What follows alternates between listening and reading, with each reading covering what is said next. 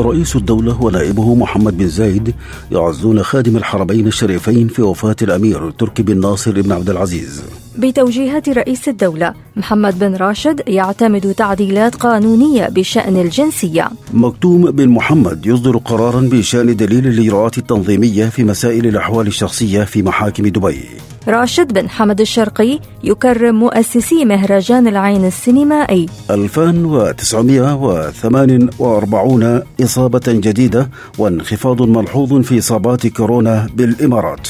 دار البر تطلق حملة موسعة لبناء المساجد حول العالم. المجلس الأعلى للطاقة في دبي يدعم إنتاج الألمنيوم الأخضر. اتحاد الكرة يبحث مع الأندية استضافة تصفيات آسيا.